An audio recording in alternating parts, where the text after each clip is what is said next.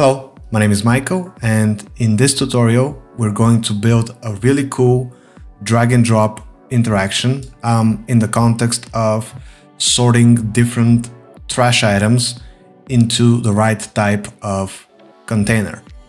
Um, I just came up with this concept.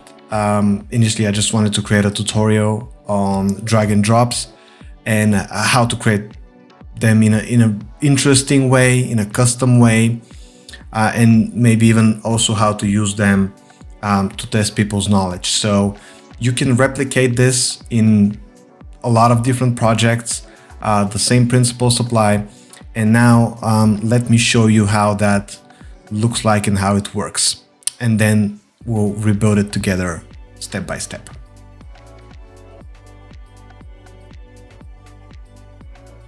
Okay, we're in. Um, now, let's see how that works. So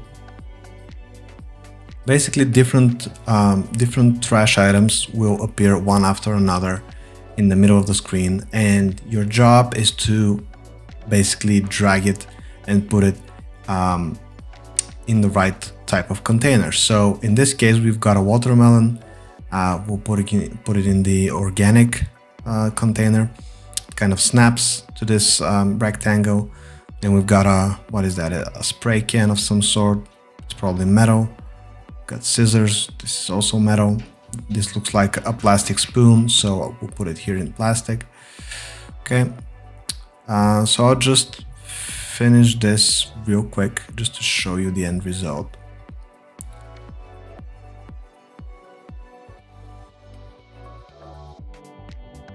And we're basically done.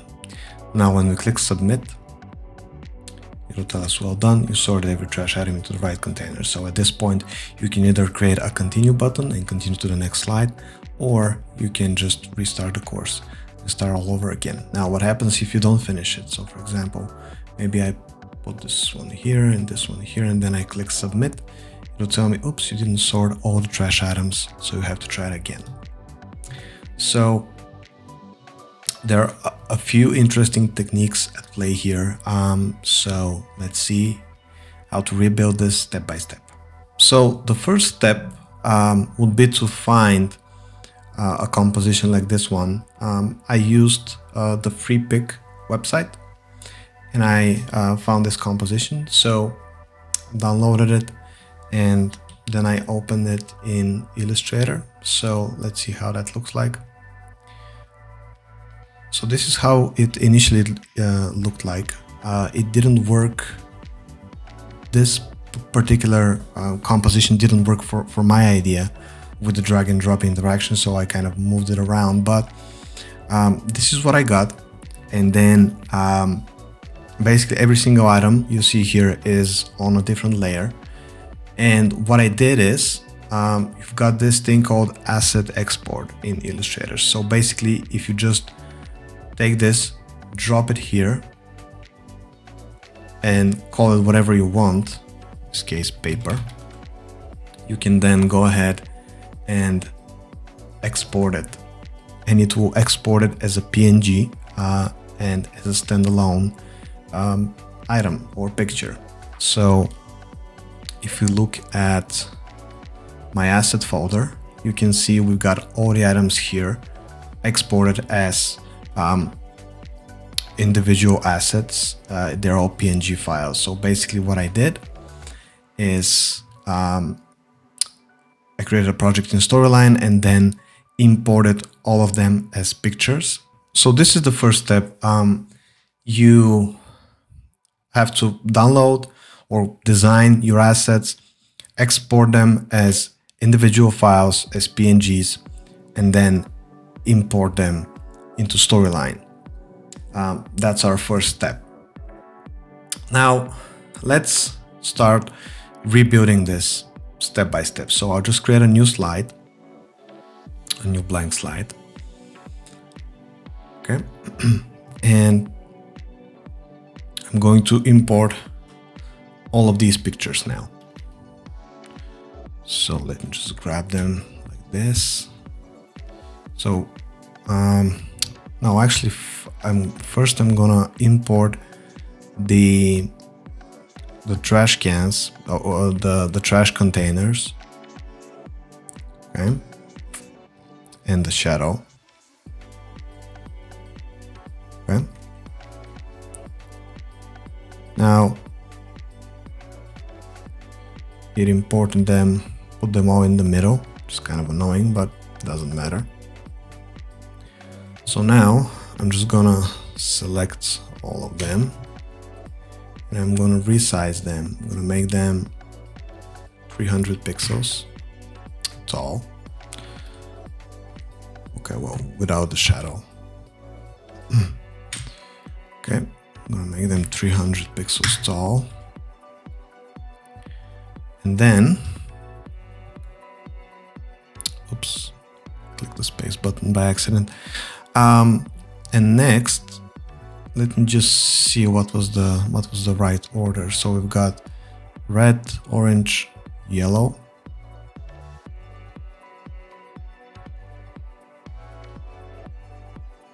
Now let me I'm gonna put the shadow here on the bottom. And now I'm going to distribute them horizontally. I'm going to group them together by by clicking uh, by holding con control and G. And now I'm going to center them in the right and then I'll take the, the shadow. And um, make it 1500 pixels wide which seems about right. Put it right underneath the wheels um, okay this one doesn't seem to be aligned properly. Okay there we go. Um, okay let me just and then one more time.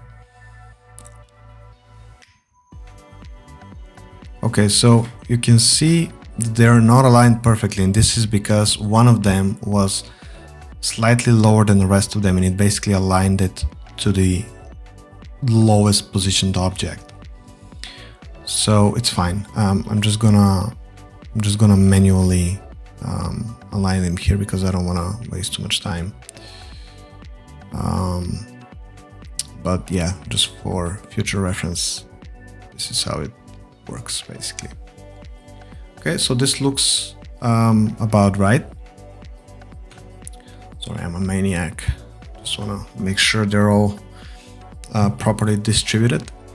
Okay so we've got the containers here. Now the problem is if we just drag and drop items um, into these containers it, it will not look great at least visually speaking. So um, I prefer to create rectangles and put them underneath and actually drag and drop the items there uh, and use the containers just to serve uh, you know as a guide. So let's do that now. I'm going to insert um, a shape a rectangle. I'm gonna make it this big or about this big.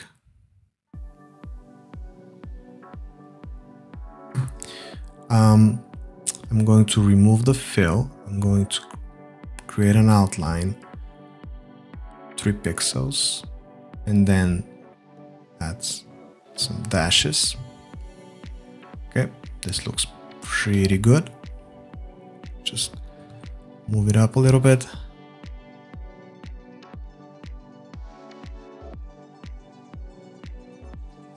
Okay, there we go. I think this looks great. Okay, so we've got our conta our containers here. Um, we can actually group them together so we have you know fewer layers basically because we're going to import like 30 30 something pictures now so uh, it can get really really chaotic now um, let's rename those rectangles so we've got the e-waste container here. We've got the plastic. Um, what is that? Metal. And we've got glass, paper, and organic. Okay. So let's insert all the pictures now from the asset. By the way, I'm going to include the storyline file uh, as well as all of my assets underneath the video, um, probably in the description, so you can download it and follow along and um, or just recreate it by yourself. Okay, so let's pick all the items without um, the containers, obviously. Okay.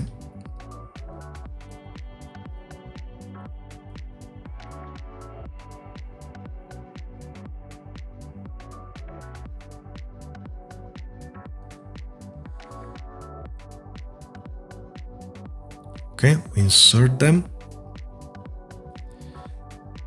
Now you can see they're basically a mess because it inserts them all at the same place and stacks, it stacks them on top of each other. So what we have to do is we have to select all of them. You can see quite a lot. Okay, um, the first thing I'm gonna do is I'm gonna make them all 100 pixels tall and then I'm going to align them to center, align them to middle, and I'm gonna move them right about here. Now I know this looks very messy, like all of them on top of each other in the middle, but trust me, it doesn't look great now, but it will make a lot of sense later. So now we have to create the the interaction. And the way we do it is we go to the insert tab and we click on convert to freeform then we select the drag and drop option. And now we can basically create um, an exercise for people uh, by selecting custom objects on the screen. Not some not not a, a pre-created quiz of some sort. So we've got the drag item. So maybe in that case maybe we start um, at the bottom. So let's say watermelon.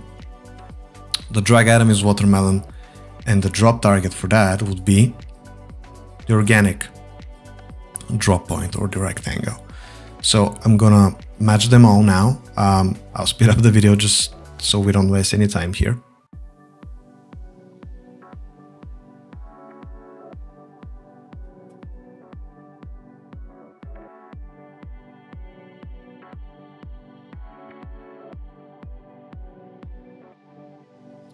Okay, we are. Fi I'm finally done. Um, matching them, you know, the, the right item with the right container. So um, let's um,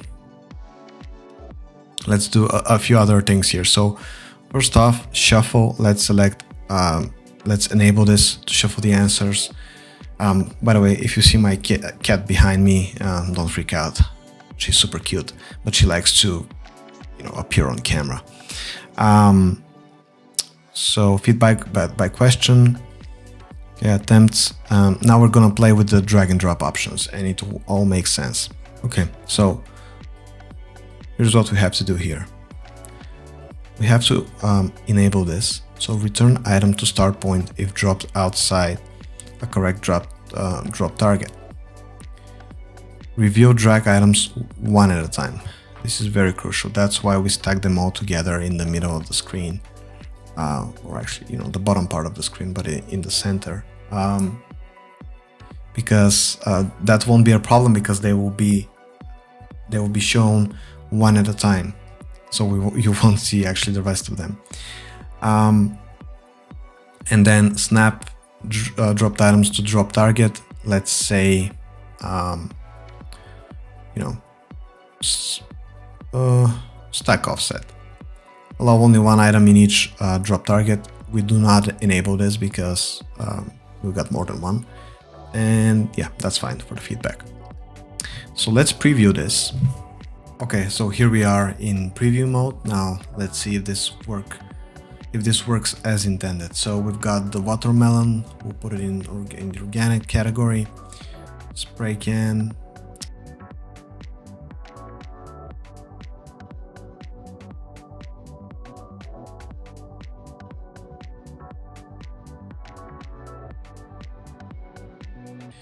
and that's pretty much it. Now, obviously we're missing the, we have to create a submit, submit button and then create the feedback slide. So let's first um, fix the electric kettle. Um, so yeah, needs to be on e-waste. All right. So now um, I'll just copy the button from here just to save some time. You can see it's a very simple button. It's a rectangle with text inside. And then submit drag and drop interaction when the user clicks rectangle 1. Now let's work on the feedback slides. So you've got the correct one. Let's say, well done. Um, sorry, I forgot the text here. You sorted every trash, uh, every trash item to the right container. Okay. Um, and then so basically you can have uh, you can have the the continue button here and just continue to the next slide or in our case I'll just create a restart button and um, we'll just restart the course because we don't have another slide so let's select restart course when the user clicks restart perfect and now the incorrect let's just say Oops. And um, you didn't sort all the trash items.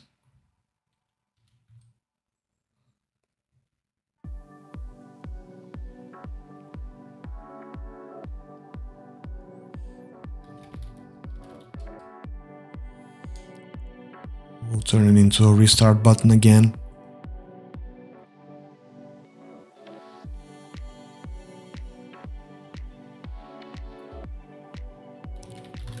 make sure we rename it. All right, I think that's it. Let's uh, let's test it one more time. Make sure everything works correctly.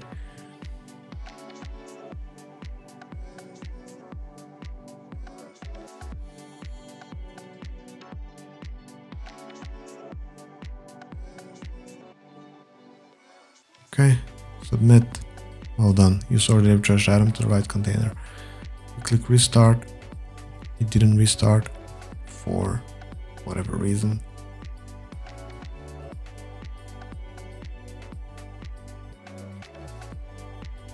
Supposed to restart but anyway. Um, one last thing I would change is yeah probably the the color of these I don't I don't like them in blue. I'll just make them black. Okay. And let's test one one last thing. So if someone doesn't put all, uh, all the items in a category, it should give them the give them the incorrect feedback. Yep. I don't know why.